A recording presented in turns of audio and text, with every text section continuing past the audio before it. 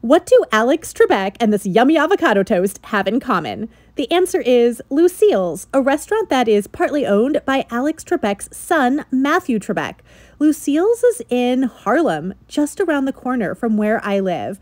I go there a lot. I get their avocado toast. Yes, I am that basic girl that gets avocado toast, but it is so delicious and it has a poached egg on top and it makes me do a happy dance. I love supporting my local businesses in Harlem. I go there a lot with my friend Lena. We're both a little bit extra. Lena got the soup the last time we went. It is so full of fresh veggies and chicken and delicious broth, perfect for these cold days.